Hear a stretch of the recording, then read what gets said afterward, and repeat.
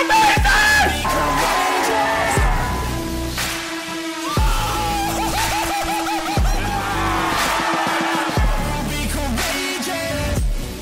guys, how you going? Sit down, Beak Sport. We are back here for another. Pos- well, actually, no, we're not back here for another positional rankings. This is the first positional rankings here of the 2024 season. If you guys don't know what this series is, basically we go through every single position in the NRL and we go through every single player and we rank them from elite to quality, do the job, not that great, and unproven.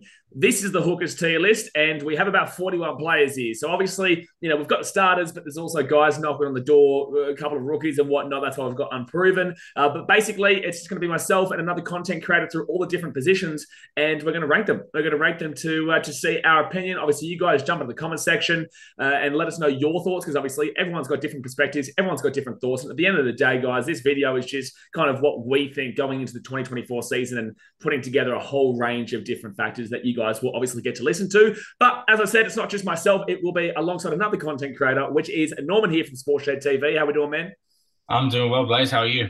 Mate, I'm ready to rock and roll you. That's what I'm ready to do because I love this series. Every single year, I actually look forward to doing this because it really gets you back into the the the, the mind space for the NRL because you have to go through every single one. You can't hide from it. And this series is not for the faint of heart because you have to go through every single player. So you know, what, are you ready? Are you ready to rock and roll? I'm ready to rock and roll. I was excited to to be welcomed back on. I think we did the did the halfbacks last season, which was um interesting. Uh, I watched back on that video actually towards the back of the season, see how it went. Not not bad at all. A few surprises, but not bad at all. So keen to hear what everyone thinks in the comment section as well. Um, once we get cracking, but 41 players, there's a lot to get through. I'm I'm ready to get to get started, and we'll see how um how like minded we are. I guess it was. Um, it, it kind of usually.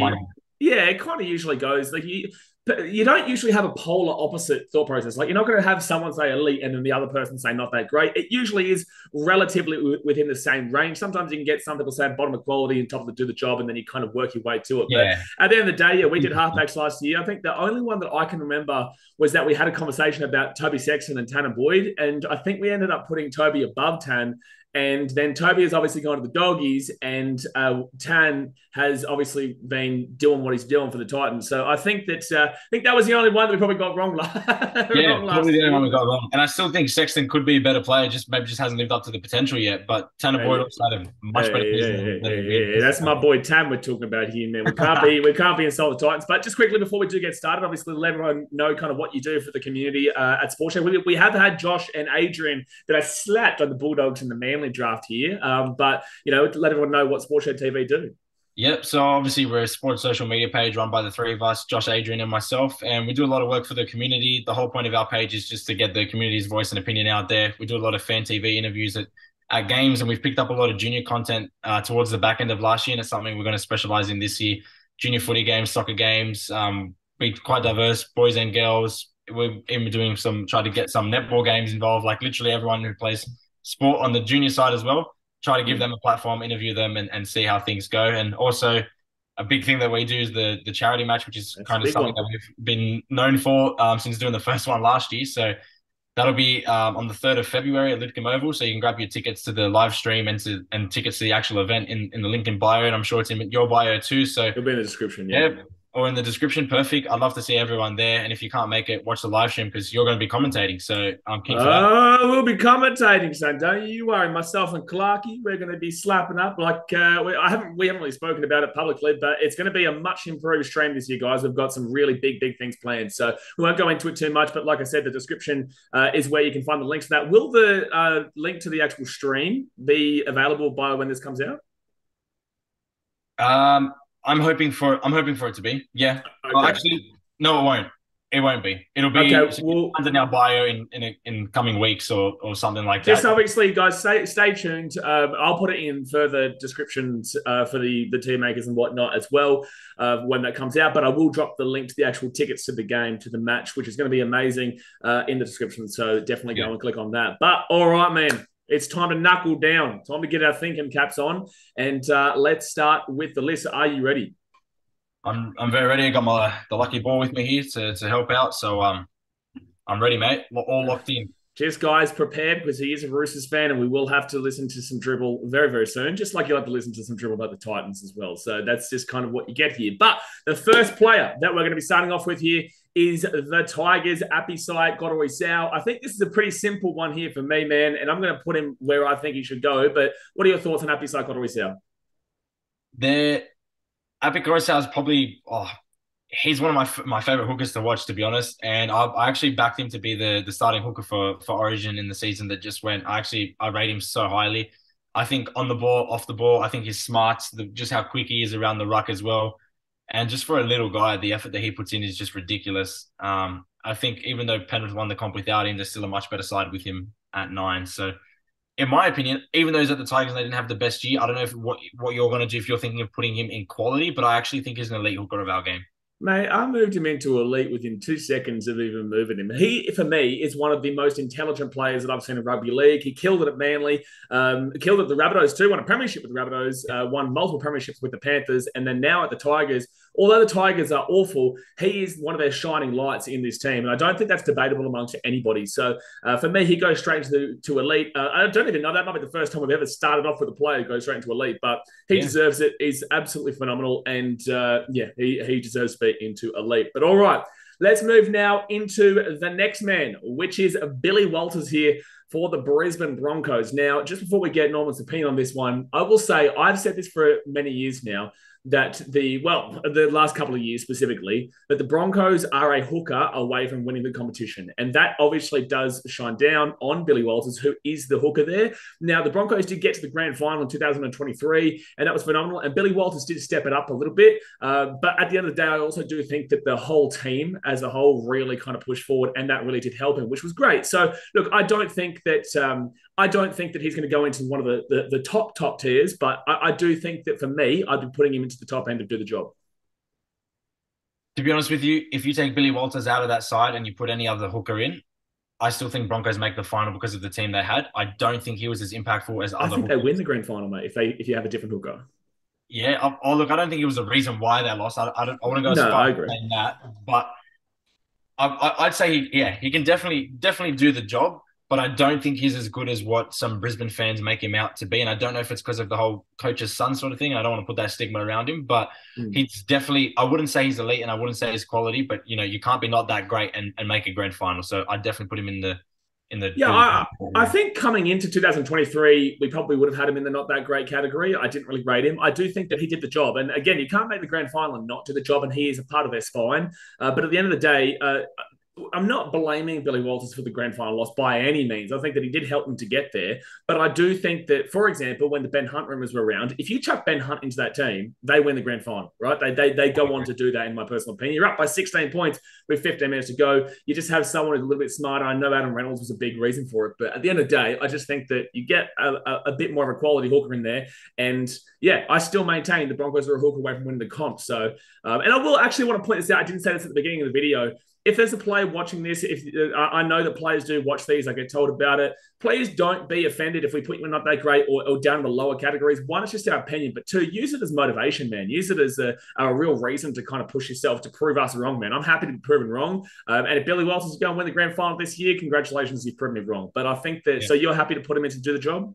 I'm happy as well. And you know, if any any uh, any players are, are knowing, just know that I'm I'm proven uh, proven to be shit. That's why um, I'm not on the field. So don't take anything personally, guys. Hey, not necessarily, mate. Because guess what? You're going to be on the charity match and you're going to absolutely crush it. So, uh, prove. Yeah. Are, are, you? What position are you playing? I'm playing on the wing, and I'm a goal kicking specialist, as you saw last year. So, um, uh, mate, if I'm you were listen here, if you're a goal kicking specialist, don't talk to me because Tanner Boyd is the man. Tanner Boyd is the anyway. We're not. We're getting off topic. We're getting, we're getting off topic. Gee whiz, Tanner Boyd doesn't miss that guy. All right, next up here, let's get to another Broncos hooker, which is Blake Mozer, who has kind of been knocking on the door for a little bit now. Um, and you obviously hear a lot of good raps about the Bronco uh, from Broncos fans and whatnot. What are your thoughts on Blake Mozer? Yeah, I hear a lot. Yeah, obviously a lot of good raps. Um, following on our socials on Sportshed, actually, interesting bloke seems to get around the first graders quite often. So surely he's he'll be playing first grade sometime soon. You'd hope for it to be this year, this upcoming season. Um, I'd still say uh, because I can't put him in not that great because he hasn't played like mm. you know, we haven't seen him come in and, and, play first grade or anything. So I I would have to put him in the unproven category, but I'd put him right at the top, given that he's played the you know junior rep junior rep size, seen him play Origin. So Definitely. Yeah, I'm just going to quickly have a have a little look here to see um, how many games he has played has played. Because if he's played less than twenty, then oh, he's only played one game, so he's definitely unproven. There's, he's, he's got, yeah, because yeah. you know it's because he hasn't played consistent games. You can't. I don't think you can put him in not that great or do the job because we don't know if he can do the job. So you mm. definitely have to be unproven. But because what we've seen in the junior years, I put him right at the top of unproven. Yeah, well, right now he's the only one in unproven, so he's at the yeah. top and he's also at the bottom. Um, but uh, we'll see how that one goes. And I think that uh, as well, we'll get through this list and we'll see that there are some players that are actually here that, although they haven't played many NRL games, also have been around the system for quite some time. So you still yeah. can rank them. Um, and we'll get to one of them actually in, in just a little bit. But th- like there are guys that can still be ranked even though they've played less than 20 games overall. Uh, but all right, let's get now into the Cronulla Sharkies. And it is Blayke Brailey here. I'm actually thinking about bringing him into my super coaches t- uh, team this year. That's how hyped I am on Blayke um, in a nice little cheapie there. But that's uh, for another day, of the super coach stuff. He is a quality hooker for mine. I think that he uh, is a guy that is not going to be the star of the team. He's not going to be the guy like a Nicho Hynes or whatnot, but he is going to to be a very integral part of the team if the team is going to be successful. And I think the Sharkies, this is a must do year for them, a must do year after the last couple. So for me, I'd put him into quality. Yeah, we've seen Brailey play the full 80 and be a standout. Um, he's had had a bad run of injuries here and there. So is his brother, to be honest. Um, I think they've both been quite quite unlucky. Hmm. But he's a staple of that side, and you wouldn't want to replace him with anyone else. I think he slots in quite well. I feel like sometimes in in big games he goes missing, in the sense of like you know you see another hooker like sort of break through the line or do something super creative. But I feel like he does his job and he does his job really well. That mm. I would put him in the in the. He probably will end up going low end of quality. He won't. He probably won't go to the top end. But I think he would be. Yeah. Probably one of the last two in the in the quality section. But if I had to pick between having uh, Billy Walters and and and Brailey my side. I pick in Brailey every day of the week, so I'm definitely putting him in their quality because I do think he's a level above mm. um, Walters. In saying that, like you just touched on, I do think he'll end up on the end of quality, but he's still definitely above do the job. So happy to pop him in quality. And I'm excited for 2024. Like I said, I'm getting them into the super coach. I think the Sharkies, they're an attacking team. I think they'll be on the up. So uh, they have to be on the up. They, they have a good team. They, they, they should be a lot better than If not, it's going to be tough few years for them. Absolutely. Oh yeah, let's talk about tough. Like this team's no, I'm not going to start going on Titans rant. I'm not, I'm not, going to start the Titans rant, but we're don't worry, we're coming. You wait till we get to Sammy Verrills and Chris Randall. All right, next up here, I'm going to let you take the floor. I'm going to have to probably bring you down a notch, but we do have Brandon yep. Smith here with the Roosters. Have the floor. I doubt you. I'll doubt you have to bring me down a notch. It's because I'm, um, you know, obviously a massive Sydney Roosters fan, but since pushing on with the uh, with the Sports Shed page, I've learned that um you know being biased doesn't really get you that far. Obviously, personality, we know who we support and everything like that. But look, I'm a black and white sort of person. Um, I've, I've always said I prefer the block of cheese at, at 13, and I'll, I'll continue to say that until I can see him as a fantastic nine. Um, right now, I think he's a quality nine. Like you don't win Dally M Hooker of the Year. I don't care if you're playing the best club or the worst club. You don't win, you know, Hooker of the Year award if you're not a quality hooker. But do I think he's elite? Definitely not. When I think of Coruscant, I think of cheese. I'm like, oh, I'd rather Coruscant 9 and cheese 13 any day of the week. So the fact that I'm going Coruscant automatic 9 means that I can't even consider Brandon Smith. I would not put him in the elite category. Sure, he's quality, big hits, doesn't have a big motor on him. Unfortunately, hopefully that picks up this year. His selection out of dummy half, his passing selection, few forward passes, fair few knock ons, a bit scrappy. I know he's had a few injuries. He had the hand issue, new team, but to be honest, this year will be not make or break for him, but in, if we're talking about the team maker, make or break, if he really kills it this year, we could probably put him in elite for next year. But at this point in time, I'd definitely put him in the quality category. Um, just because of experience in the big games played, I'd actually put him ahead of Blayke Brailey, but I, I can't put him in elite. All right, so I, I, I understand where you're coming from with a lot of that. Um, the only reason that I would slightly disagree is because I think that if you're basing it off of his history, then he's absolutely in quality, right? But if you're basing it off how he did at the Roosters in 2023, then I personally believe that he'd be going to the top and do the job. Now it's hard because you have to kind of figure out a, a, a good mix here because that was just a really poor year from him. And, and for me, again, I agree with you as well in regards to Brandon Smith being at 13. I think that's always been the position that I've loved for him. Obviously, he did that at the Storm as well. Um, and I, I, just think that he's kind of lost his position there with New Zealand as well. Like they've got, is it Jerry Marshall King, They're nine now? Yeah, JMK came in towards the end, yeah. Yeah, so Marshall King has come in now. He's lost that spot, and obviously there's a lot of criticism him at the Roosters in 2023. So I think that I would have been putting him. I think we put him into the top of quality when he was at the Storm and, and breaching the elite category. But p- for me, I would personally, right this very second, be putting him at the top of do the job. Really? Well, I didn't think you'd have to bring me down there.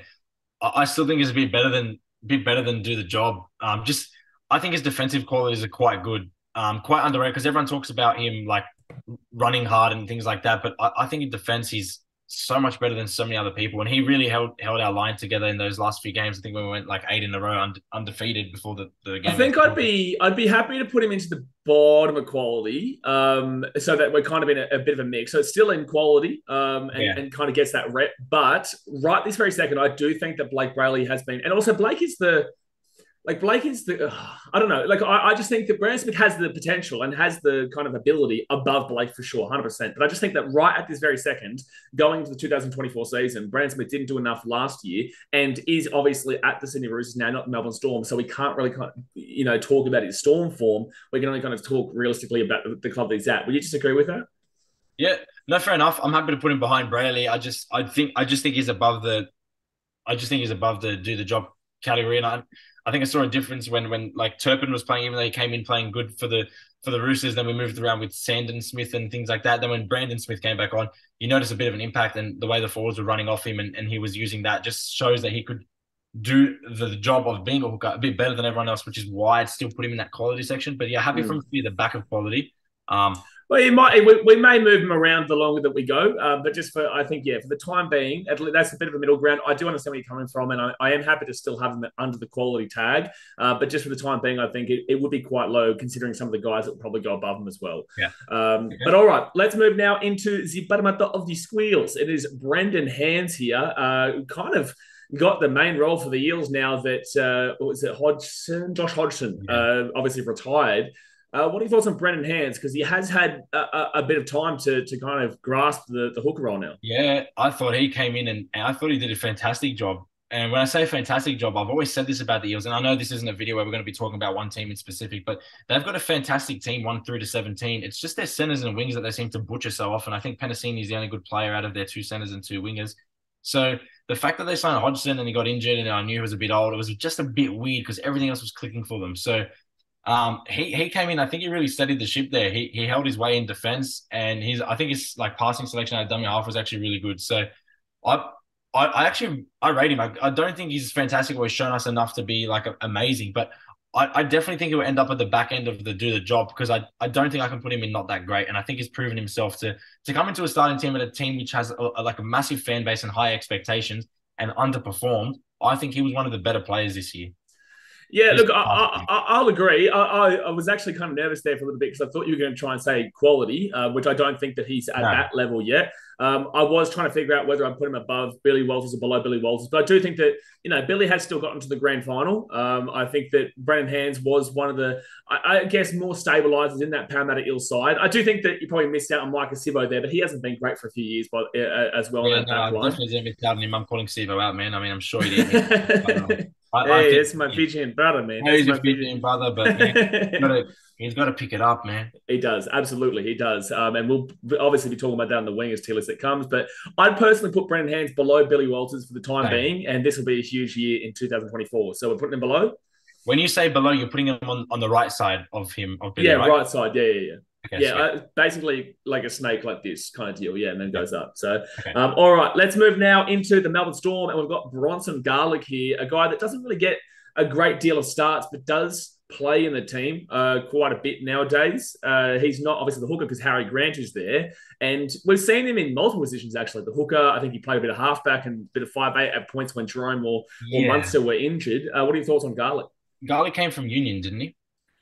I'm not 100 percent too sure, but the Storm seem to have a lot of ex-union players to be fair come through their ranks. Seems like it, and I think because he's been so sporadic and played in different positions, I I- I don't think he's proven as a hooker. So I feel it's disrespectful to put him in not that great. But until I can see him play hooker like maybe ten games in a row, whether it's off the bench or starting, I can't put him there. I'll put him in unproven, and I'm definitely putting um him behind Blake there.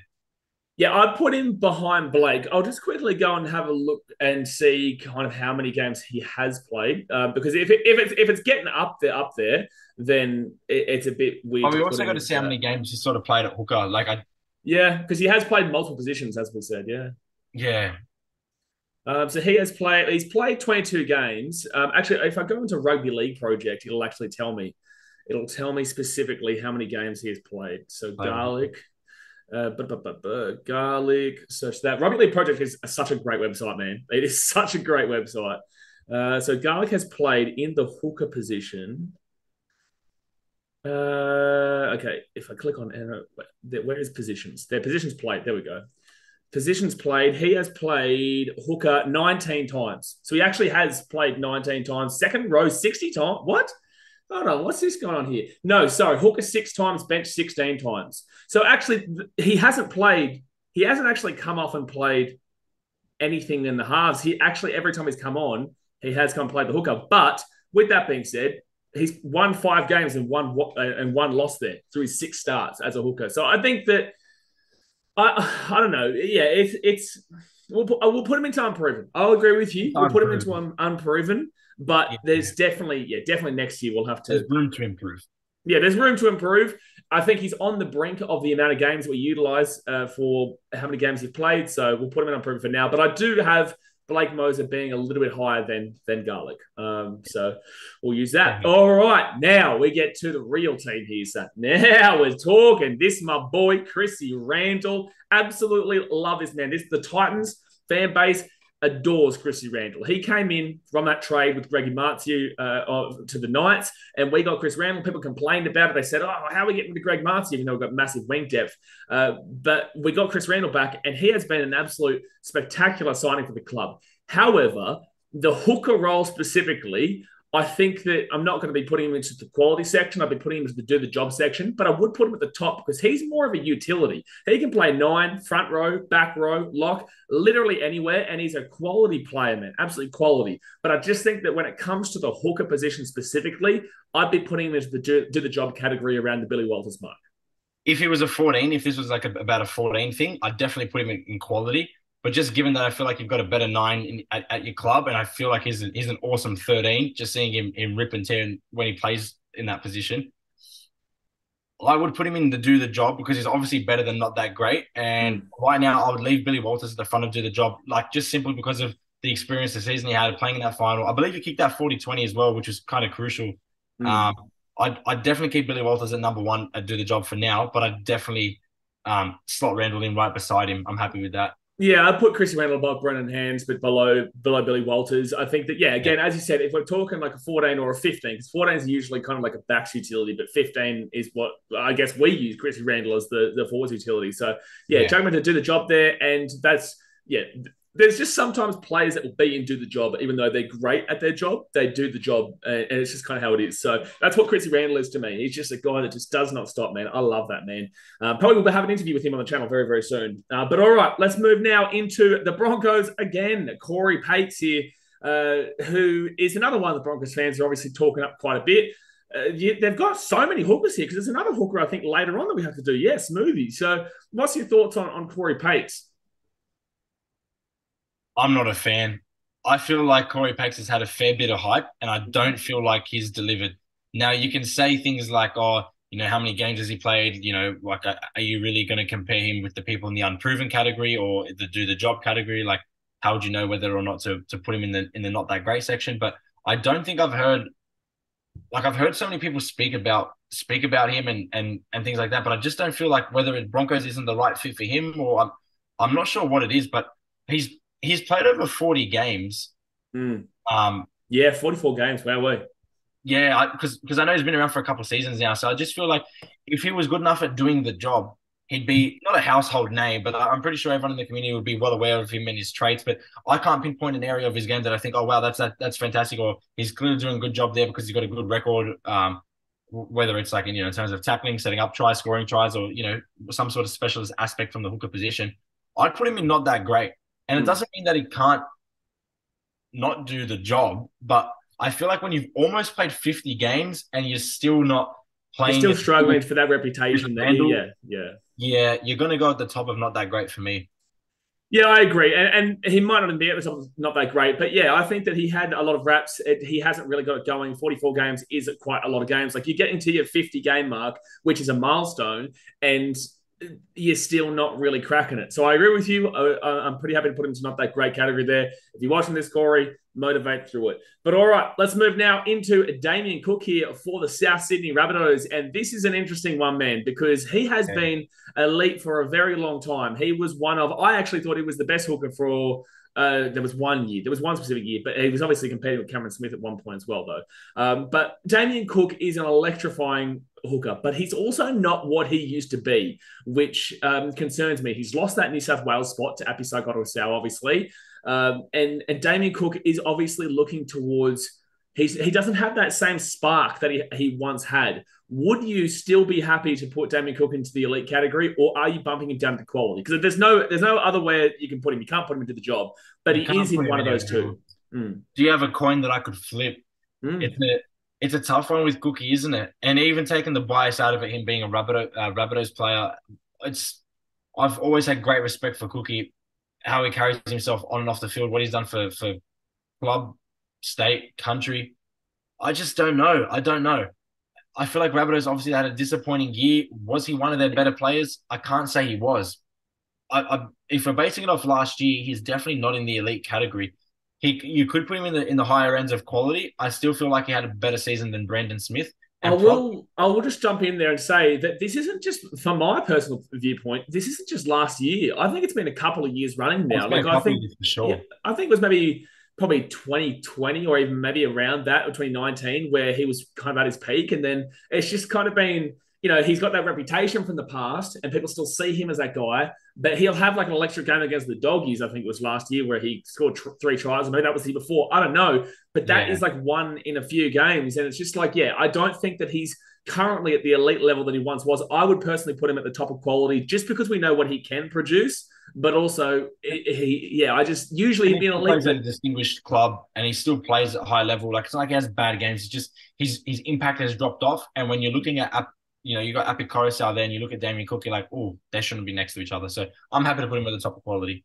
Yeah, it's just it's just such a weird thing to see Damien Cook not being an elite after all these years. It's just so weird. But uh, in the same sense, people will more than likely understand where we're coming from. If you have a different opinion, jump into the comment section. Well, uh, the same thing, and not to touch on Roosters players or a different position, but it'd be the same thing. I'm sure when you do your fullback video, I'm not sure if he even Tedesco, yeah. I put Tedesco. I don't know where, where he's going to be. I might have to watch that one uh, just for for educational purposes. But I'd put Teddy at the top of quality and take him off off elite after if we're just going off last season going into this season. So I, I feel like the same thing's happened with Cookie.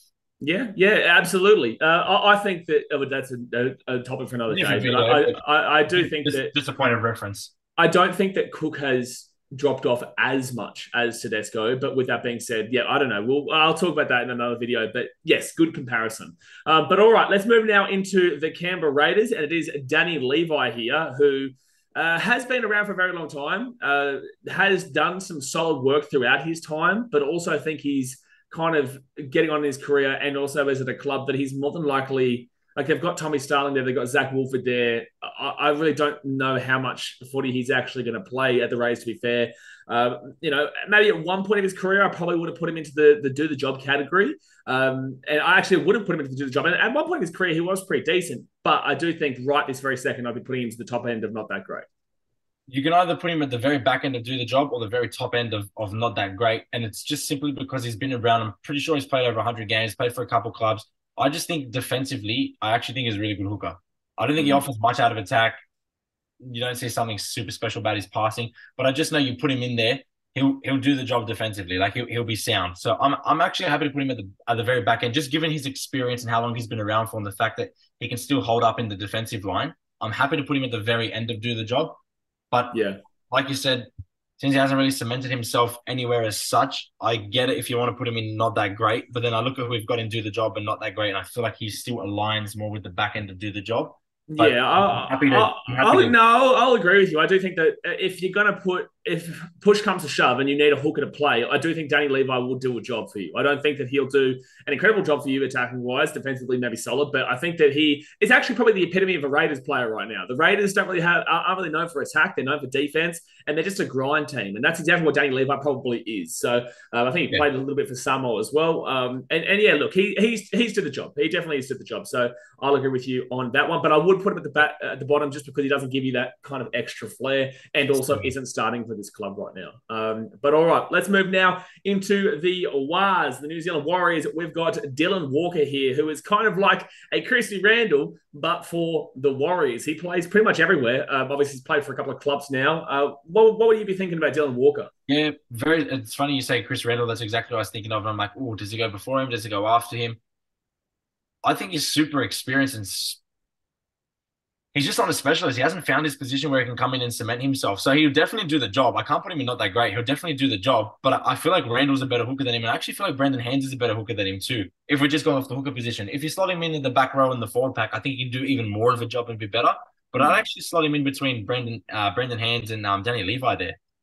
Yeah, yeah, no, I'm I'm pretty happy with that one. To be fair, um, again, a very similar player to Chris Randall in the sense that he is more of a kind of utility player off the bench um, and and plays multiple. But yeah, I would agree with you. I think that I would prefer Chris Randall or, or Brendan Hands over Dylan Walker there. But if you go into the back row, he'd probably be a little bit higher. But yeah, I I, I agree with that one there. Um, all right, we move now again into the Warriors. We've got Freddy Lussick here who.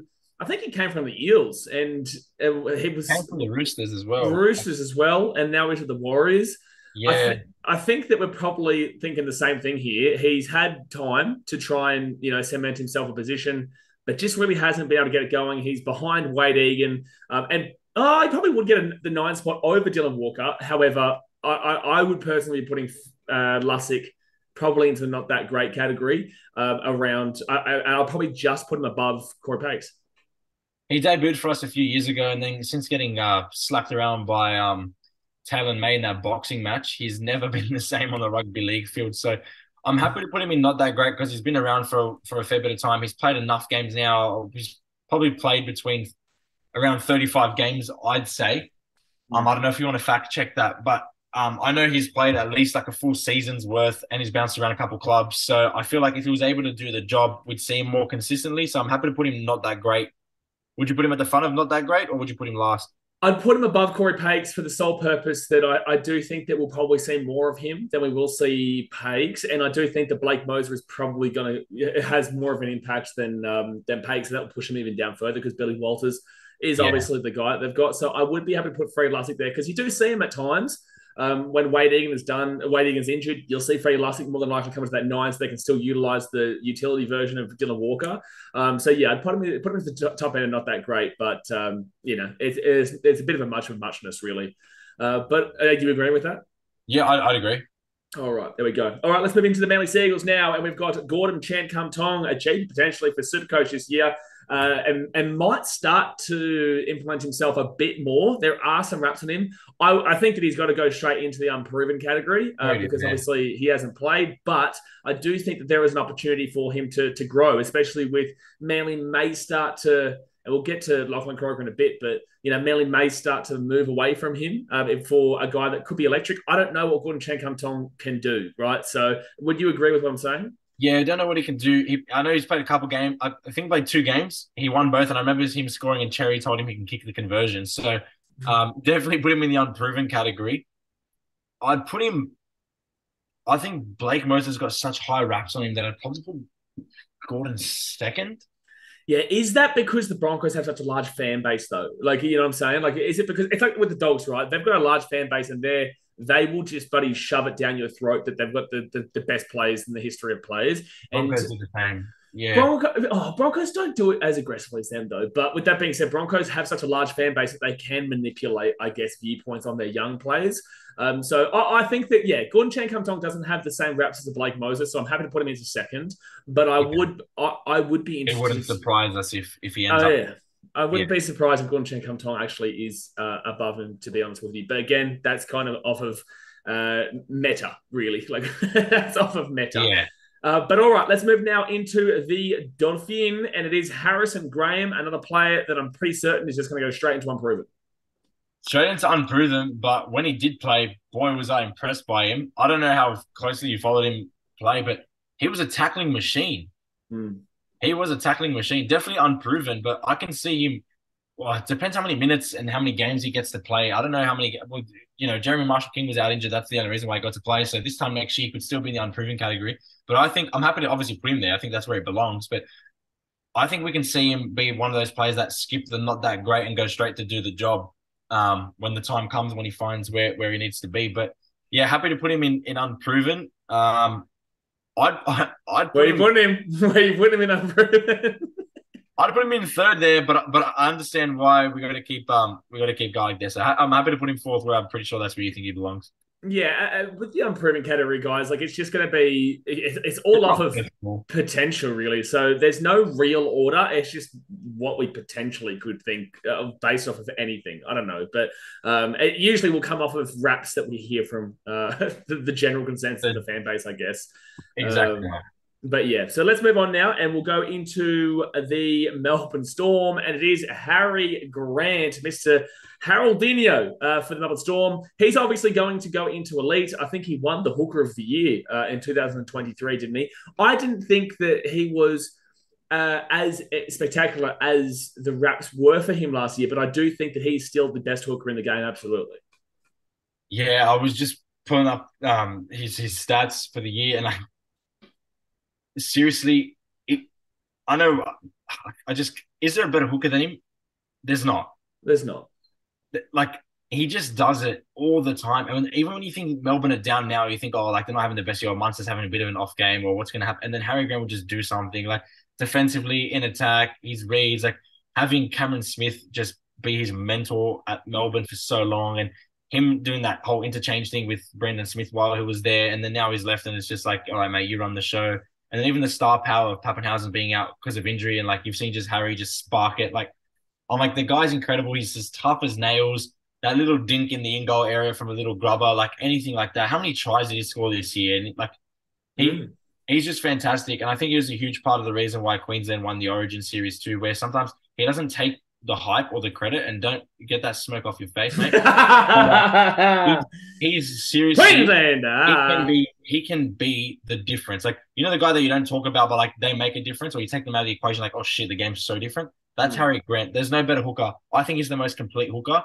And I think if we see Koroisau fully fit and we see the Tigers, I don't think the Tigers will ever be able to rifle the Storm over the next five years. But well, actually, uh, if you think about it realistically, when Harry Grant went to the Tigers for a little bit, obviously he got them to their highest position in a very long time. In not, uh, I think it was tenth actually. Oh, the Titans actually volumes. he got a standing ovation. Like that doesn't happen. Yeah, yeah, he got a standing ovation as a loaned player, as a loaned player for a single year. So Which never even existed. No one would everyone would have laughed at the idea of a lone player. Like yeah. So, yeah, definitely top of the elite category. Definitely top.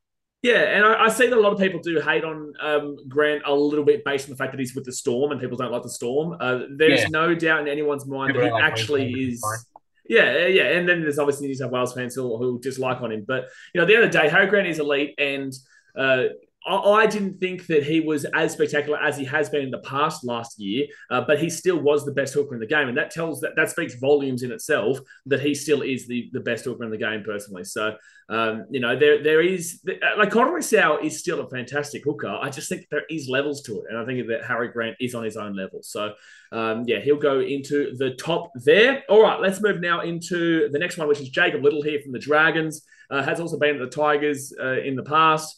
Uh, you know, this is um, yeah, this this one I think we're probably going to be putting into the. I'll probably say the top of not that great, but I I do I don't think he's as I don't think he's that phenomenal.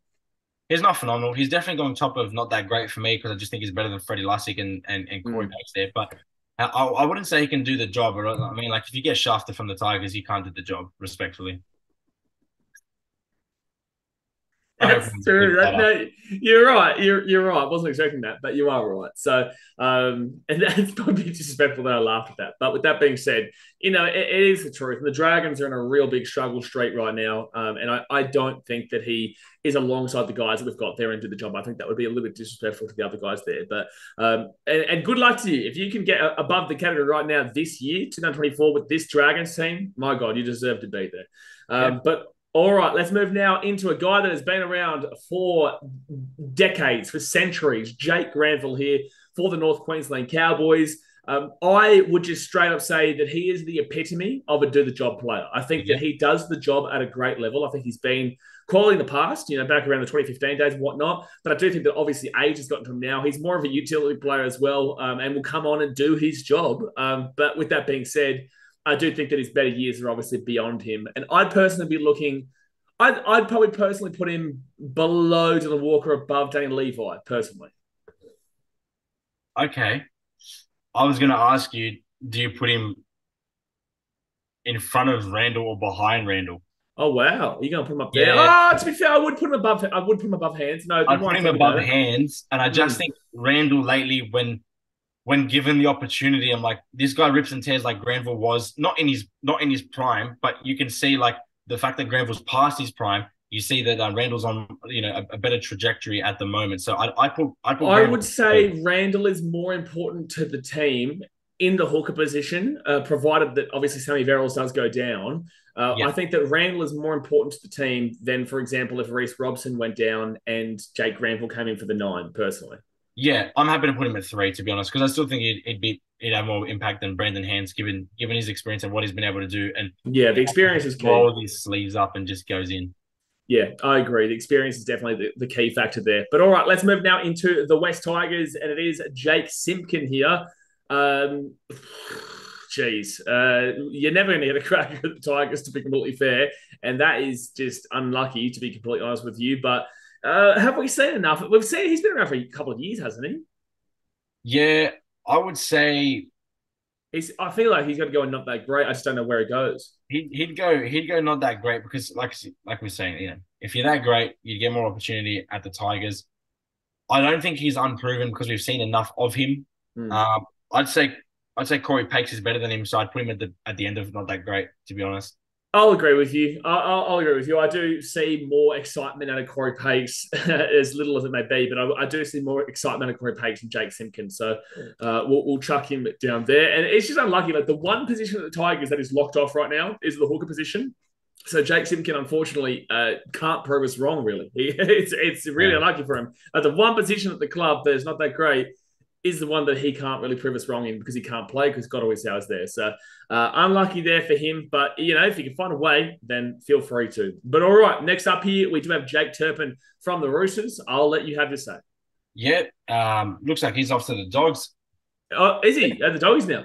Yeah, I'm pretty sure I've moved to the Dogs. I, I rated Turpin at, at Brisbane, actually. I, I thought defensively, I thought the guy's sound. Like, he actually didn't miss much in tackles. Uh, he had that, you know, that real shitty haircut where you're like, oh, this guy just does nothing but makes tackles. he had that real look to him. Um, and then I think in attack he was he was okay. And then when Brandon Smith went down injured, we're like, oh shit, like here we go, his season's gonna go downhill. I feel like Turpin actually steadied the ship. Obviously, Brandon Smith's you know better player than him, but I feel like he was able to steady the ship quite well.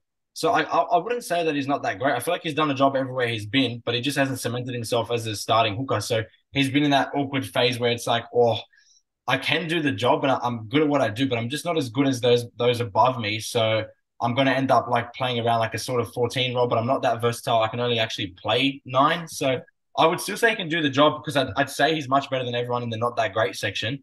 Um, I'd probably put him above Danny Levi. That's probably where I'd where I'd have him. I I would say that I agree with you putting him as the bottom and do the job. I would personally only put him below Danny Levi because of that Samoa representation that we've seen with Danny Levi, um, and and the fact that he yeah. does have that experience there. Uh, Jake Turpin is a guy that is is fine. Like it's he's he's not as bad as people make him out to be, but he's uh, for me, I do think that Samoa representation. I think Levi had. I think he played the World Cup, didn't he? Um, I think he played. Yeah, I'm pretty sure he did. And that, that was only that way. Like you know, that's the reason why you could put him above Turpin. I'm, yeah. I'm, happy. I'm happy with that. I just know that Turpin. I, I, would never put Turpin in not that great, even if he didn't play for the Roosters. Just seeing him at the Broncos, like he was doing the job. Like yeah, just at a very he was doing the job at a lower level, but he was still it's very vanilla, but he did the job. Yeah, yeah, vanilla is a great way to put it. But yeah, yeah the only reason I'd probably put him below Levi is based on that Samoa representation that was only a year and a bit ago. It wasn't even a year and a half, a year and a bit ago. So yeah, cool. I'd agree. Uh, yeah. All right, let's move now into Manly, and this guy's going to go straight to unproven. Is Jamie Humphreys here? Uh, I don't really know much about Jamie Humphreys, to be fair, but you know, I, I, like I said before, I don't think that the hooker role is completely locked off at Manly with Lachlan Croker there. So you know, he goes into unproven. Do you know much about him? Don't know much about him at all. I, would be lying if I said I knew much about him. Have I heard his name? Definitely. Have I seen any clips of him or heard how good he is or anything? No. no. So yeah, I, I think we I think we put him into the, the bottom of unproven below Bronson Garlick just based on the fact that we don't know anything about him, so we can't really. Yeah. Put it put him above guys that at least we've seen or heard, um, you know, things for. Uh, all right, let's move now into Jayden Berrell here from the Sharkies. This is a guy that has been around for quite some time now, uh, and and really hasn't been able to implement himself a spot in this Sharks team. Uh, you know, they've got Blayke Brailey there. He hasn't really even gotten a shout on the, the bench much at all. I don't think he's actually played that many games for him. But with that being said, I would still kind of be more aligned to putting him into the not that great category, just based on the fact that you know he has had such so many opportunities to kind of get into the team, but just has never been able to get into the team. That's exactly what I was going to say. It's not like he's some 19, 20 year old who's come through. It's like, you know, you, you've been around long enough, you've played enough cup games or reserve or lower grades there where if you were good enough, you'd be there. So you mm. can't really put yourself in the unproven category where we've got all these young guns or people who've just signed for NRL clubs. Bro, he's bro, he's 28 years old. Yeah, he's, tw- he's, tw- he's 28 you, you years old. Go, you can't go in unproven. You'd have to be not that great, to be honest. And so Look, I, put, I put him at the at the back end of it just because I can, you know, we've seen Simpson play footy. I, I would put him at the bottom simply because, yeah, look, he's 28 years old. He's no young pup anymore. Hasn't actually had a game for the Sharkies, I've just seen. So he hasn't actually debuted. Um, he's kind of there and hanging around, which is at least good depth. Like, at least they've got him for depth. But with that being said, he can't go above anybody else. One, he's never played a game, and two, the age factor really heavily comes in there. So um, yeah, we'll put him into the, the bottom of not that great. Uh, we move now into the Newcastle Knights, and it's Jayden Brailey here, a guy who has been so unlucky with injuries recently. Uh, obviously, coming back into this Knights team this year. Touch wood that he's okay and uh, ready to rock and roll. Um, Jayden Brailey is a really, really solid hooker. Um, I think that he can definitely uh, help his team quite significantly. But I do think the injuries really do hurt his stocks quite significantly because he he has had them on a frequent basis. Um, yeah. And and I do think as we'll get into Phoenix Crossland in a little bit that Crossland kind of came in and did a job in, in, in that point as well, which showed that is I don't know I I feel like this is a weird one here with Jayden Brailey where you you would have originally wanted to put him into quality, but he's at that point now where there's been just so many injuries. I definitely can't put him in quality because of the injuries mm. and the hmm. lack of games played. He can definitely do the job. We know that for a fact. But whereabouts and do the job, I can't see him in the top half of it. I can't. I just injuries have ruined him. And when I think of Newcastle hooker, I think of Phoenix Crossland now, and that's going to be the case for a lot of Newcastle fans and the selectors. So it's going to be tough one for, for them in general. I, I do think that Jayden Brailey will. I think Jayden Brailey will start for the Knights to start of the year. Um, but I do think because I, I, think, think Crossland can. And we'll get into Crossland in a second. But I think he'll. Crossland, yeah. But he'll be. I think he'll come off as a 14 Crossland because he can play so many different positions. Um, Are we um, going based off because we didn't see him last year? Are we going based off last year or based off just in general going forward into this year? Because if we're going just kind of a collective. Yeah, yeah, it's a collective, but we can't really go off much off last year. Is what I'm trying to say with Jayden Brailey. So, mm-hmm. I like personally, like I would love to, I would actually love to put him second on do the job. I genuinely would, but we haven't seen enough of him that I'm thinking he can. I'll be I'll be honest with you. No, I'll be honest with you. I, I think that when we have seen him playing, he is above Billy Walters. But we obviously haven't oh, seen him playing much. But when he does play, he is above Billy Walters, and he probably will start for the Knights this year. I don't think I could put him down as low as the Danny Levi section, um, based off of what we have seen from him. Um, just basing off the combination of not seeing him last year. But if you take that out of the take that out of the equation, I'd definitely put him second, just because of the year Billy Walters had. To be honest, well, yeah, yeah, we'll put him second, and I agree with you that based on the year that Billy Walters did have, he does deserve to be first there. Um, I do think that by the end of this year, provided that Jayden Brailey is not injured, he will go above him. But I think for the time being, you're right. And because Chris Randall is not specifically a hooker, he's more of a utility forward for the Titans. I'm pretty happy to put Jayden Brailey above him there. But yeah, um, yeah, it'll be interesting to see how he comes back from his injury, and I hope he does well because you know they, um, yeah, I, I hope he does well. But all right. Let's move on now to the Dolphins. And it is Jeremy Marshall King, who obviously came from the Doggies. Uh, did well at the doggies. Um, we didn't kind of do anything crazy, but then again, that's the dogs. Has come to the Dolphins and absolutely did a phenomenal job, in my personal opinion, when he was on the field. I think that Jeremy Marshall King, for me, uh, I, I, personally put him into quality. I was going to say this is going to shock a lot of people, but clearly won't shock a lot of people if you said the same thing.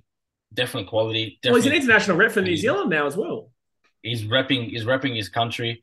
He's gone from being some sort of reject of the dogs to wow, look what Wayne Bennett can do. And look how mm. he changed the Dolphins. I mean, he tore us to shreds in that first game against the Chooks.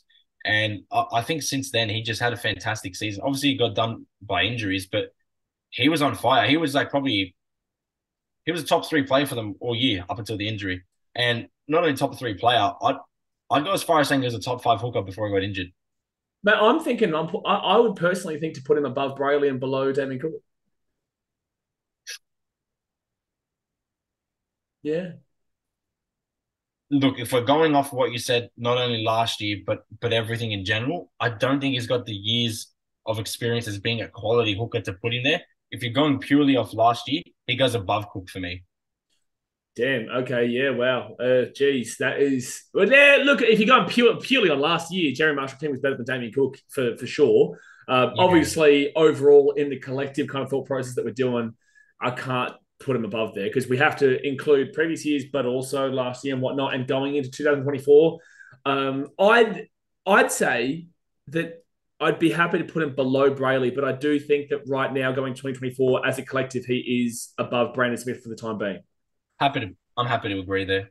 Yeah, it's a tight, it's a tight one. It is a tough one. Um, but yeah, he could be anywhere in that quality section. And by the end of 2024, depending on how the Dolphins do and how he does, he could definitely be above Damien Cook. He could. He absolutely could. Um, I can I can see that happening. I can see him almost jumping to the elite category next year if if Dol- if Dolphins can somehow make the eight. He, he's definitely going to play a huge part and be in the elite category, which I don't think they'll make the eight. Um, so I don't want to get get please no. Up, but um, please no. you got you got to admit if they do make the eight, he's going to be an integral part. and He will definitely be an elite player. But I think that I don't know if I'd be able to put him into elite by the end of the year, but I definitely could see him being at the top of quality. I do think that he probably would need to do it again. Like elite is. Koroisau and Harry Grant have been doing this for years and years now, um, and they yeah. have been at the top of the game for a while. And yeah, I think that I think you need to be like, for example, Koroisau if has a year like Cookies, like 2020 year or 2021, where we tore um Queensland to shreds in Origin and, and Cookie was on fire. Like if he has a year like that, I'm thinking, well, We'll have a look at it right now. Like the two guys who are in elite are two premiership winners. Damien Cook actually hasn't won a premiership. It was with the Dogs in 2014, I believe. Um, Blayke Brailey obviously hasn't. Brandon Smith has, but with that being said, you know that's a little bit you know obscure comparatively. And then everyone else there hasn't won a premiership, so uh, hasn't been the main man as the premiership. And also was Brandon Smith. He was almost the main man, I'd say. He was close to getting Clive, in my opinion.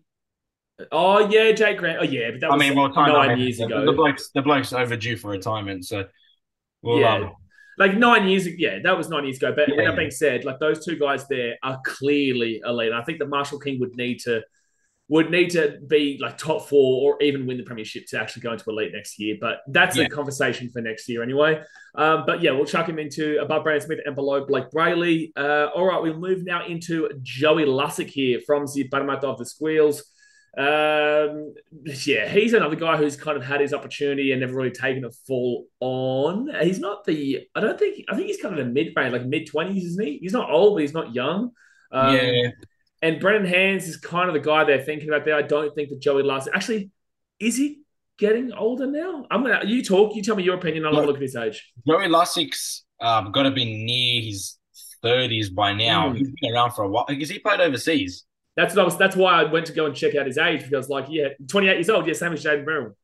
Yeah, he's got to be. He's he's got to be not that great. You can't put him in as unproven. I'm sorry, you can't be 28. A yeah. number of clubs been around this and that. You got to be unproven. Uh, you got to be not that great. But I'd put him above that Sharkies bloke because, uh, mate. that Sharkies bloke. Seriously, I'm. I with all I mean, oh man, that's funny. Um, that that is funny. I know what you're saying though. I personally would actually put him above Jake Simpkin because I do think that when he comes on, he actually does and like something. Um, I haven't seen anything from Simpkin so far. I'll, I'll put him above Simpkin, but I don't think I could talk much more about him, just given that he's not that great. Bro, that that that uh, that Sharks bloke is so funny. Uh, um, but that tells you why he's down the bottom there. It's Jayden Berrell, by the way. Um, but all right, Oh, Jayden, mate. let's move now into the next guy, which is Lachlan Croker from Manly, who we've brought up a couple of times now, um, and is is kind of like a do the job as well, uh, in my personal opinion. Like I think I love this guy. I, Oh, you love I him? don't stop you there. I love this guy. I freaking hate Manly.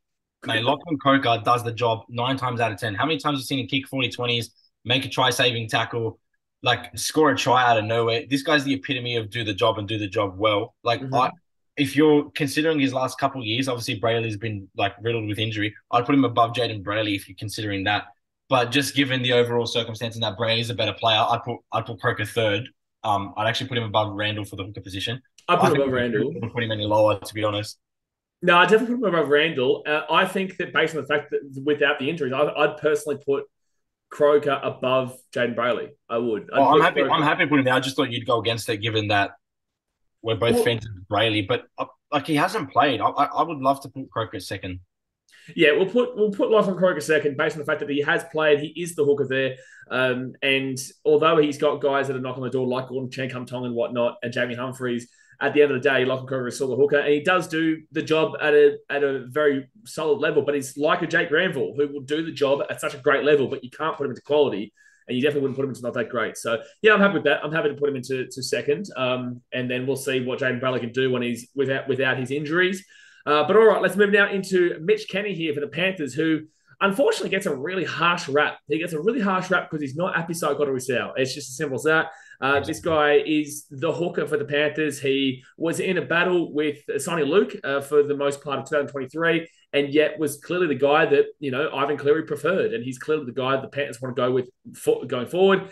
Um, for me, I think that Mitch Kenny, based off his accolades now, I do have to put him into quality. I think that he's won a premiership, and he also was a huge reason as to why they won the grand final. You know, he was he was a massive part of it and a massive part First of their season scorer. last year. Yeah, first try score, and I think that he there was something that he did as well. Was it the the final try that gave it? He passed it to Nathan Cleary um, for him to. I can't remember, but Yeah, Mitch like Kenny is so underrated, man. In my He's opinion, underrated. He's a quality player. Given given what Brandon Smith has done in the game, and we're combining everything, I can't put him above Brandon Smith yet. I can't.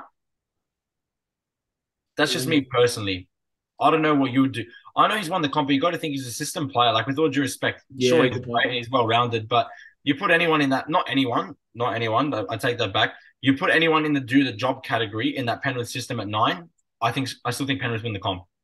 No, I, I agree with you. Um, yeah, I think that you put anyone into that nine, they probably do. Soni Luke probably still wins the premiership. Uh, there is maybe a few question marks about that, but with that being said, you know, whoever it is a system. You know, it is a system, and Mitch Kenny. Uh, yeah, he he did what he needed to do, and he did it at a quality level. I will agree with you that he still probably is below Brandon Smith, but Brandon Smith has a lot to do this year, in my personal opinion. Um, and I would say that, yeah, Marshall King, on a pure hooker level, on who I think is a better hooker, I would say the four guys above him or the six guys above him are better than him um, and would improve the Panthers ti- team. But with that being said, Mitch Kenny is still a quality hooker, so we'll put him into the back end of it. sweet. There we go. All right, moving on now to Peter Mamouzelos here for the Rabbitohs. Uh, this guy's been around the system for ages. Been around the system. I feel like I've heard his name for the last three years, and he hasn't. Absolutely, absolutely, man. I feel like I've heard this guy's name all the time, but it just never kind of. I Yeah, I just I don't want to put him in not that great because like let the like we've heard his name, but let, let the bloke play. Like I don't know if you want to do a fact check on this, but has he played less than That's what I'm looking at right now. less Yeah. than fifteen games? Um. Yeah. So he's he's only 23 years old. Yeah, he was 20. he- His birthday was six days ago, so he's 23 now. Um. He's played seven games for South Sydney, um, and 10 I got games for Greece. I got to put him in unproven. I got to put him in unproven. I'd probably put him. I'd probably put him second last. Yeah, I would agree with you. I, I don't think he's played enough games. He is still quite young, so there is still time for him to do something. Um, but and maybe he's the next answer when Damien Cook eventually retires because Cook is getting on now. Uh, so maybe Mamouzelos is the guy that they're thinking about. But I guess it doesn't really fill you with a great deal of confidence, um, considering he has been around the system for ages and never gotten his, well, he's got seven games. Uh, but yeah, I'd, I'd, be happy to put him below Bronson Garlick, above Jamie Humphreys. Uh, but I think next year, next year, if he doesn't get any kind of opportunity this year, it's going to start to to not look that great overall. Um, it'll tough. Yeah. Yeah, it'll be tough. But all right, let's move now into the Knights and we get to Phoenix Crossland here, who uh, was obviously the guy that took over Jayden Brailey last year of the Knights and actually did a really good job. I, I, think that last year when we did this Hooker T ranking, I can't remember who I did it with, but we had him not that great and he wasn't that great. He wasn't doing his job and it, I think he was one of the bottom ones, but he really kind of turned everyone's thought process around with that massive run that Newcastle went on towards the back end of that year. Uh, I do think he has to go into the do the job section, but uh, I'd be interested to see where you, you think to put him. Uh, I'll take a guess where I'd put him. Very, very simple for me, and I'll tell you straight up what the number is. Uh, I would say. Mm, oh, I don't know. This is scaring me now because I literally just asked you. I, I would say, say I would say based off of last year, uh, the way that he played last year, he probably he probably goes above uh, Granville, but I think that based on his history, he'd be at bottom. Well, I was going to put him at fourth. I was going to put him above. Well, that's exactly where I was thinking. As I said, based on last year, uh, just yep. just below Randall, but I'm happy to put him above Randall based on the fact that he is more of a probably. He, yeah, he did. Without his impact, Ponga doesn't. Newcastle don't go on the run. Ponga doesn't win the Dally M. Yeah, I agree. He's definitely he steered the ship there. He, he he can do the job. He can definitely do the job.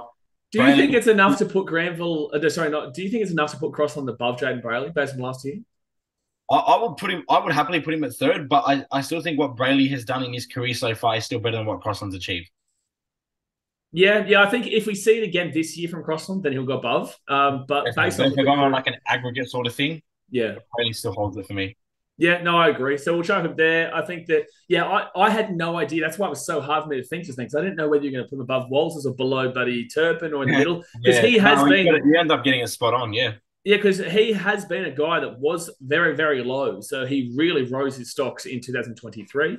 Uh, but let's move now into the Cowboys, and it is Reece Robson who uh, I don't think that last year was his best year. I think 2022, obviously, the Cowboys 2022 was a great. Um, you know, they went from 15th in 2021 to third in 2022, and then back down at 11th or whatever it was in 2023. Uh, and unfortunately, Reece Robson kind of fell back down with the pack throughout that year, uh, throughout last year. Um, I still think that he's a quality hooker, and I think that um, I think that he's probably going to go into the quality section. I, th- I, think he definitely does go into the quality section, but I don't think that the hype is as high as it was going into 2023 as it is going into 2024?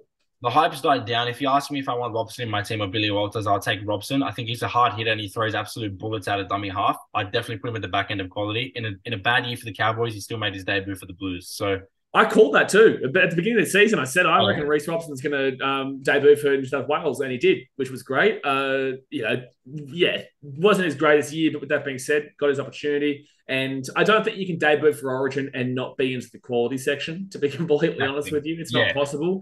But Mitch Kenny did oh, like on a pure hooker level, you'd probably say that Reece Robson is a better hooker than Mitch Kenny. But that premiership and the way that Mitch Kenny played last year does really kind of yeah, probably does put him above there. So um, on a pure hooker level, guys, I'd personally put him above, but I do think that it's fair to have him below Mitch Kenny. Uh, we go now into oh, the Kenry Bulldogs, Reed Mahoney. Hmm. This one is probably the toughest one of this entire video, to be completely honest with you. Uh, was a very quality, very, very quality hooker at the Eels. Don't think he reached elite, but he was definitely quality. Um, and then the Bulldogs in 2023, it, it was just awful. Like, it, but that was it just that whole club, or was it Reed Mahoney as well? It was Reed Mahoney as well, but I don't know. It's just that last year really, really put me off Reed Mahoney quite significantly. What would your thoughts be, especially when one of your best mates is a Bulldogs fan?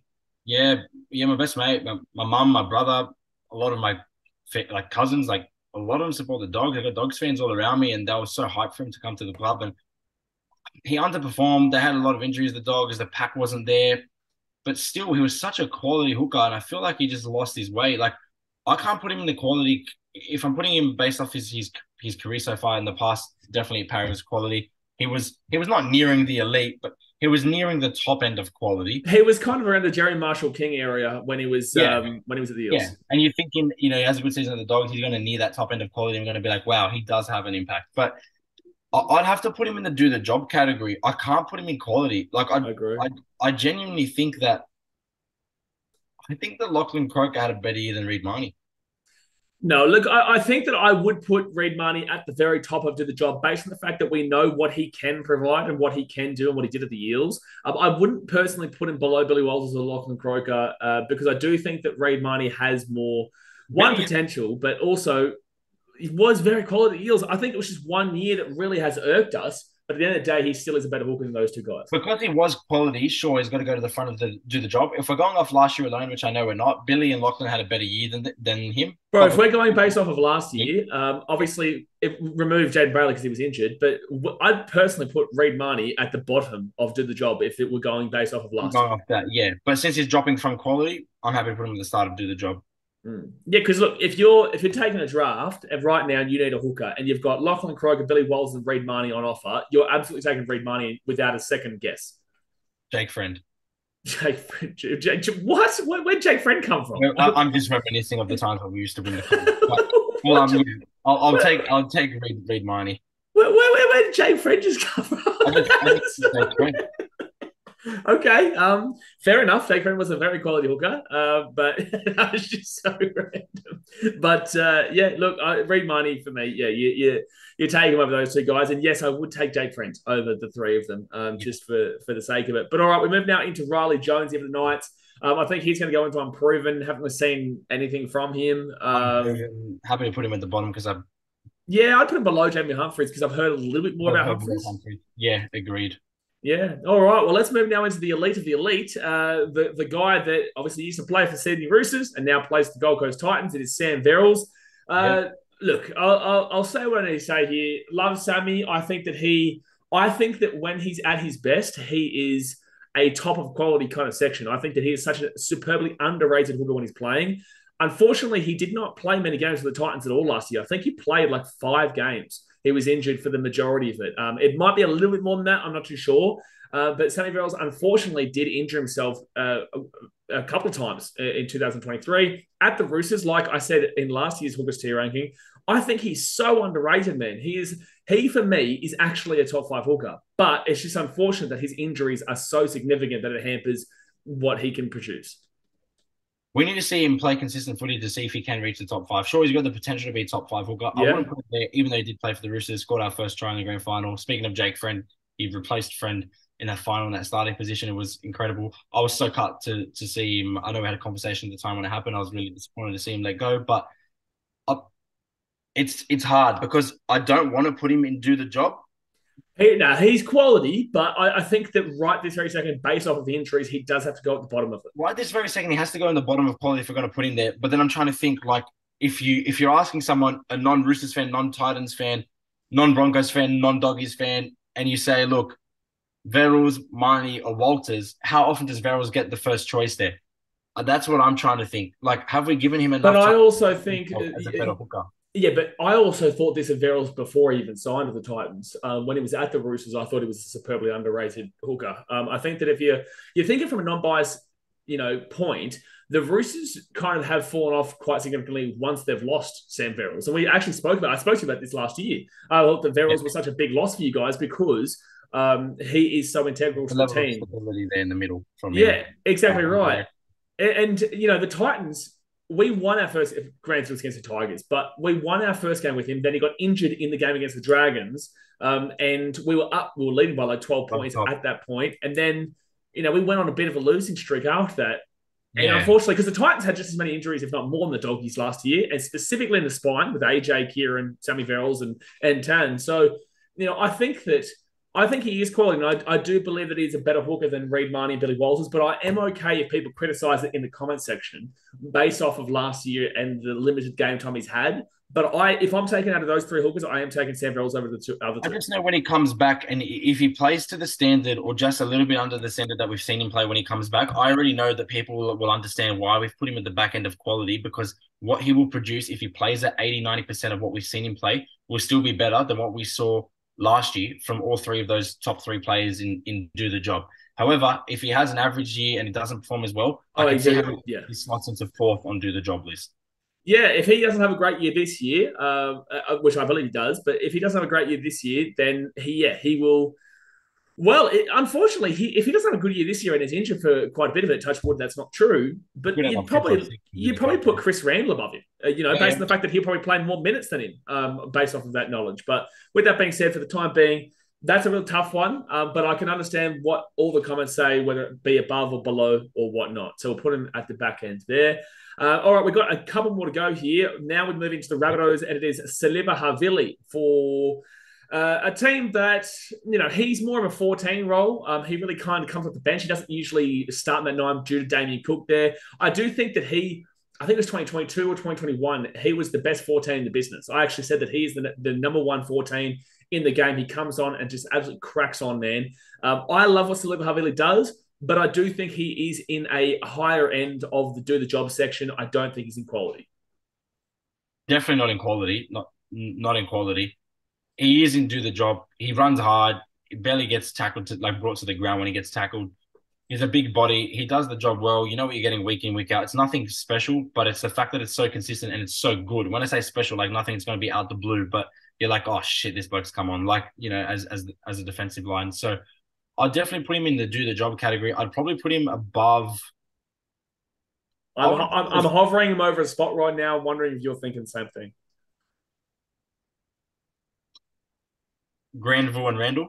That's that is actually insane that you've done that because that's exactly where I had it. It was in between Granville and Randall. I was hovering it over there, and then Yeah, the longer you were going, I was starting to slightly move above Randall, and I brought him back in. So that's that's Yeah. crazy. That's exactly where I was thinking. that's funny. Yeah, I drop him in between the two because it's just I still think like Randall offers more as a nine. Hmm. Yeah, I, I, I agree. Um, so yeah, he'll go above uh, Granville and below Randall. But yeah, that's just crazy. Out of all the players we've got on the board here, that's exactly where I was hovering, and you can see it in the video. Uh, but all right, let's now move into the Penrith Panthers, and it is Soni Luke, a guy that a lot of people had so much hype for going into 2024, uh, but unfortunately just never really got his opportunity. Really hurt a lot of people in Supercoach uh, because he would play very limited minutes, and people were begging for him to play more. Uh, but Mitch Kenny was doing his job and at a quality level. That's why he's in quality. Uh, for me, Luke hasn't really had a great amount of time to prove himself, but he probably has played enough games. In, sorry, he probably has played enough games in the hooker role. I would still put him into the do the job category, but I just don't think we've seen enough out of him to put him into anywhere above that bottom area. This is what I'm thinking. I'm thinking this is a make or break year for him in terms of the team maker. I'd put him at the very back end of do the job, Mm. knowing that if he does a good job this year, he can well and truly see himself in the middle of the do the job category for next year. But if he doesn't perform well and he has the same year and he's mediocre, we can put him at the very top of not that great this time next year. But I, I, I know he can do the job because we've he's come he's come on. We've seen him play. We've seen how crafty he is. He can definitely do the job, and he probably finds himself on the bench in at least half the NRL clubs if he leaves. Um, so I definitely put him in do the job, but because he hasn't done that much, he's still proven himself. So I can't put him in unproven. I'd, I'd just have to put him behind Turpin just at last to do the job. Yeah, yeah. I, I think that you can make an argument for potentially him being above Turpin, but I am happy to put him at the bo- bottom just because he needs Just to have. because Turpin's played a couple of seasons like on him. Yeah, I agree. He's got the experience there, and also Soni Luke, he's at the Panthers. Like if if you don't come in and, and kill it, like when he comes on, he's fine. Like he's he, he he's decent, but we need to see more of it. So 2024 is a massive year for Soni Luke, as you said. All right, six more to go here, and it is Tallyn Da Silva from the Tigers. Uh, I've heard his name the last couple of years, uh, but with that being said, he just hasn't really kind of grasped the opportunity just yet. He's still very, very young. I'd be putting him into unproven. Very young, unproven. Oh, I'd put him just behind Edwards. Uh, oh, Harrison Edwards. Yeah, he, this guy's actually. I've seen. him I play- have heard some good. He's- yeah, he's- I have heard some good reports on Tallyn Silva. Sorry, what were we saying? No, I'm saying I've seen him play some junior games. He's he's actually good. I, just the fact that Edwards came into first grade at Dolphins, you know, in their first year, and he did such a great job defensively. I'd I'd, I'd have him just behind Edwards from um Harrison Edwards. Is it from the Dolphins? I'd have him just behind him. Yeah, I because I think want to get Silva is. unproven, but I think I, he's I, I really think young. himself more than the other three that would be on the right of him. That's right. He's only eighteen. Uh, like I've heard his name for a couple of years though, which is good. A good sign because if I've heard his name sign. for He's at Blaze dead set. He's actually he's actually a freak. Yeah, like that's actually a really good sign because if I've heard his name for years and he's only 18, means that he's not even he I shouldn't have heard of him really. It would have been 16 when I was player. Yeah. Yeah, so that's really good sign. But yeah, we'll put him there. Um, could be higher, but again, he's still super young. So that's actually exciting to, to think about for you Tigers fans because got to miss out, not getting any younger. Um, so maybe he's the next guy to to come in afterwards uh, for the Tigers. But all right, we've got five left to go, and both the Raiders are coming up in a minute. But the first Raider is Tom Starling, who I don't know if he's lived up to the hype that people believed he was going to be. Like he's he's a really good and Ricky Stuart at the Raiders is a very very good man manager. He knows how to get the best out of. Well, he knows how to man manage the minutes of players. In my personal opinion, he's one of the best at the game for it. Um, and I yeah. think that I would trust I would trust Ricky Stuart's understanding of what Tom Starling can produce more than I would trust other coaches on the the minutes that they give to certain players for me, Tommy Starling had such a big reputation that he could have gotten into quality uh, previously, but has not lived it to, to, it. So I'd be looking towards putting him into the middle area of do the job. I was going to put him just above hands. Above hands, yeah. Oh, oh I, think I'd put him. I personally would put him above Granville. I don't know. I just feel like Granville's achieved so much more, and I know it's not just about the past, but I feel like I think, uh, I, like, I would agree with you. He has achieved so much more, but I think that going into 2024, if you're You've wanting take Starling over him, yeah, and I'd take Billy over him. I'm happy to put him there, to be honest. Yeah, would you take uh, Tom Starling or Siliva Havili?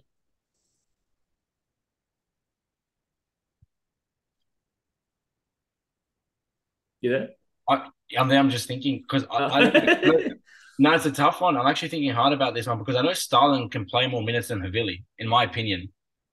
But given that he can and he's got a motor on him and he's obviously weighs, I'm pretty sure he weighs less. Like Havili's a, a bloody brick. I, I Havili just, has also got the Tonga representation, so I think we probably put um, Havili above him based off of that representation. Yeah, but it is yeah. a very tough one because I think that if I think that oh, like I think that on a pure hooker level, I would say Tom Starling probably goes above Havili. If he does, he should he should be playing more. Like there's something about him. Why is he not playing yeah. more? Why, yeah, you know, why aren't Raiders going to that next step? So I'm happy to put Havili above him because I think the international representation and the fact that he's been able to be, you know, consistent player in the Rabbitohs squad, which is obviously a better club than the Raiders. Mm. Um, you know, based off form over the last few years, uh, except for last year. Um, but yes, I year, I, I agree with you. Above. I, I would say that I think they're used in a similar fashion, but Havili is obviously more of a just buddy smash him hooker, whilst Tom Starling is more of a electric speedy hooker. But they kind of play similar minutes, I would say. I don't think they play a great deal different. Um, but yeah, I, I, would say is, that which is my which is my concern because yeah, because Starling should be playing almost double the minutes Havili plays. Yeah, yeah, I, I, would agree with that one. So yeah, we'll put put Starling below Havili, above Granville. I think that's yeah. kind of fine there. Uh, all right, we get to another Broncos hooker here, and it is Tyson Smoothy. uh, who did play for the Storm uh, for a little bit as well, uh, and now is at the Broncos. I, I don't think that he. I think he is going to go into that not that great category, man. I think he's had time to prove himself. He hasn't had time to prove. He hasn't had um, done anything with that time to prove himself, and um, I think he's probably towards the back. Uh, like I don't think when he came off of the Broncos, yeah, I, I would say so because I don't think that he did what I don't think he did well when he came on for the Broncos last year. Yeah, I'm, I'm happy. I'm happy to put him there. I'm, it's just black and white, just not that good. Yeah, he's above. He's above Berrell based on the fact that he's probably younger. Um, but still, um, yeah, we'll just chuck him there, black and white. All right, final three here, and we're getting to Wayde Egan for the Warriors, who has been phenomenal for the Warriors, especially last year. Um, he was great. Um, I don't know. I don't think I could put him into the elite category alongside Koroisau and Grant based off of kind of what was going off prior. Uh, if you're going based off last year individually, you're probably looking at Wayde Egan above Damien Cook, but you know that's a very tough kind of comparison to make. Wayde Egan for me goes third in quality. Yeah, third in quality, but below Blayke Brailey. Oh, to be honest, I'd probably put him above Blayke Brailey. You know what I'm actually thinking? And I don't, I don't know. Like, correct me if I'm. I know it's opinion, so you actually can't correct me, but I've just Blayke Brailey, I'm, I'm just looking at it. I, I just dragged um, Wayde Egan up. I'm like, you know what? He looks perfect in, in second position. I'd put him in second mm. position going into next year, just just because of what Cookie's done in the last few years. And It hasn't been as great. Still been better than Egan up until last season. But I'm thinking Jeremy Marshall King should probably be third and Brailey fourth now that I look at it. But I'm, I'm happy to put Wayde Egan second. I don't think I can put Wayde Egan behind um, Blayke Brailey. I just think he was instrumental Well, that's what I was going to say to you, right? Because you said third, and I was like, yeah, because because you said third, and I was like, oh, I don't know. I think I, I think Wayde Egan should go second. Um, and I just think that based off of the history of of Cookie, I don't want to drop him anywhere further than where he is. Same. I think Um, it's disrespectful to Cookie. and uh, yeah, I'm, I'm very happy with Wayde Egan being in fourth overall. Um, and then Blayke Brailey and Jerry Marshall King. I think that you can kind of put them on top of each other, is what I'd say there. You can kind of put them on top of each other. We can't actually physically do that, guys, but I would say they're in a very similar position where at least Marshall, yeah, Blayke Brailey just has a lot to prove this year. I could definitely see Blayke Brailey dropping off quite a lot if he doesn't have a good year this year. Um, and he doesn't kind of reach the the height and he just has a stagnant season he'll probably drop off and Marshall King probably goes above him. But I think we do keep him there for the time being. Um, but Wayde Egan, I'm, I'm happy that Wayde, Egan, Wayde Egan's put in the top five though. That's a that's really good. Um, the Warriors fans will love that. I'm, I'm hoping next year we can put him first for quality. Yeah, it'd be great. It would be great. But all right, we've got two more to go here, and it is Zac Woolford here from the Raiders, who is kind of their starting guy now. Um, it's not Thomas Darling, it is Zac Woolford who has kind of taken the reins there. Uh, as we saw the other day, uh, apparently he ended uh, ended John Bernard's season uh, or career, sorry, as a rugby league player. Uh, Zac Woolford's kind of he he is he's definitely above Tom Starling for me, based on the fact that he has taken the the reins at the Raiders. But I also think that they're probably in a very similar position overall. I wouldn't actually put him in drastic differently areas. Areas. To Starling, Uh, yeah, I wouldn't put him yeah, completely can opposite. job defensively. I think in attack he doesn't offer much. I'd actually put him behind Starling just by one. I'd put I'd, like they can literally hold hands in that position, but I'd still put Yeah. Starling above him. I know I know Woolford's got the starting gig, but I, I still I, if you ask me which, which player am I picking to start, I'm, I'm picking Starling. I would agree. Uh, again, I, I I do trust in what kind of Ricky's thought process is there, but I do think that yeah, if I'm selecting and you're selecting, yeah, I'd personally take Starling above Zac Woolford. I don't think he offers an insane amount, and that's what I was saying. I think they're both in the exact same kind of area. They they went in opposite areas, so um, it's funny the Rays are just bang in the middle of the the midsection, which is kind of what the Rays just are overall as a club for the last quite a while, besides 2019. Um, but there we go. We've got one last player to go here, and it's a guy that is at the Roosters now, uh, who is Zach Dockar-Clay, who did actually play for the Doggies as well, didn't he? Played for the Um, He hasn't debuted for us. He's been playing a lot of, of cup games for the Bears. I think there's one place and one place only to prove to, to put him, and it's in unproven. I'd put him just behind Da Silva, only because I've heard his name a fair bit, and I've seen what he can do. He's an interesting player. He can play that sort of 13 role as well. Um, but he's definitely unproven because we haven't seen what he can do in first grade properly yet. So I'm happy to put him in unproven. I'm the only issue is that Yeah. he's 28 years old. I get that, but I think Actually, he's played 33 games, 19 for Hull Kingston Rovers in 2017, and then 14 games for the Dogs. And obviously, this is his first year at the Roosters. I think he's played more than an. I think he's played too many games to go into unproven, and at 28 years old as well. it's fair enough if you want to put him in the not that great section. I just think he hasn't been given a fair crack to show his abilities in first grade. And I think it comes down to his versatility and that sure he's not as good as everyone else, but when are you gonna I mean you're gonna judge someone off playing 14 games for the dogs. I don't think anyone who plays 14 games for the dogs is great. Do we see Yeah, what the- the only- putting him in, or is that enough to cut him off? Uh, The only issue that I see is that, you know, he's 28 years old. He hasn't made an impact. He played 19 games in England um, and scored six tries in those 19 games, to be fair, for Hull Kingston Rovers. I don't know if they're in the first division, second division, or whatnot. And he played for the Bulldogs uh, last year.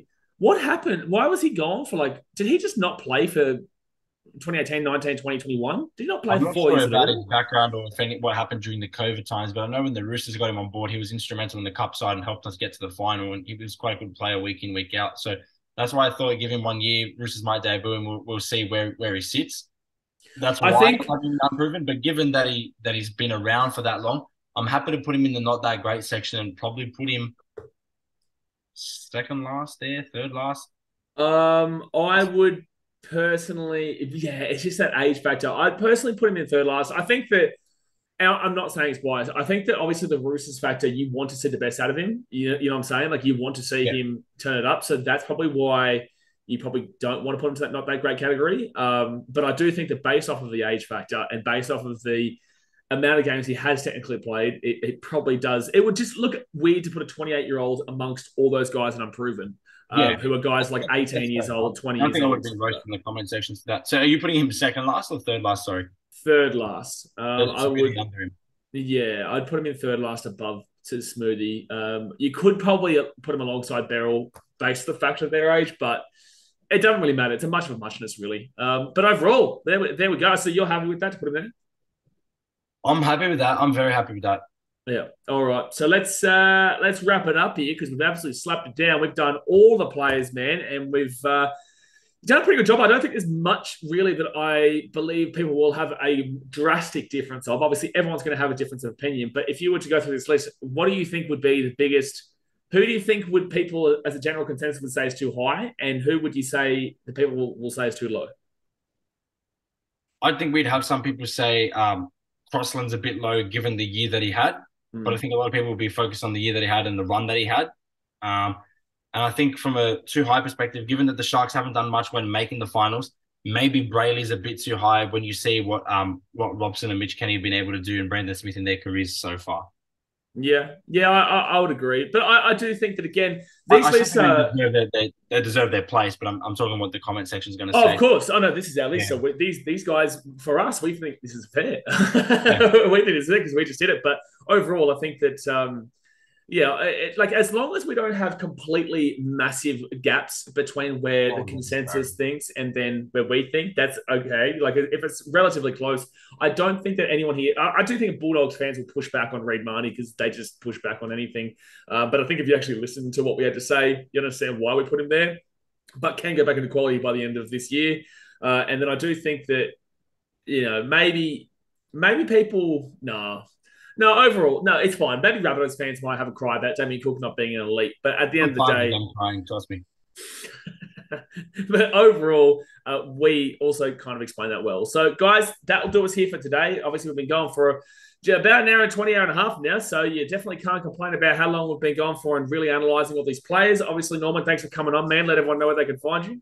Yeah, thanks for thanks for having me, Blaze. Uh, at Sportshed TV, TikTok, Instagram, YouTube. We're gonna try to ramp up the YouTube this year. We'll see. We'll see how that goes. But yeah, most of our content on TikTok and uh, and Instagram for the time being. Hopefully, you see you all at the at the charity match on the third of Feb at Lift Mobile. You better be there at the Danwell charity match, son. And if you're not there at the charity match, but you got the stream with myself and Clarky, uh, but it's going to be an amazing events. Definitely get down. If you're in Sydney, it's going to be an amazing day. We've got so much stuff for you guys to do down there, multiple games. Uh, like I said, the link will be in the description. Um, and then when the stream link comes out, We'll chuck that in as well. Uh, but we appreciate you as always. Obviously, guys, hit that like button, subscribe if you're new around here. We're doing every single player in every single position with different content creators. So it's a massive series, uh, and we'll be basically two a week uh, from now until the start of the season. So it's going to be absolutely huge. But we appreciate you as always, and I'll see you guys next time. Thanks for watching. Catch you later. See ya.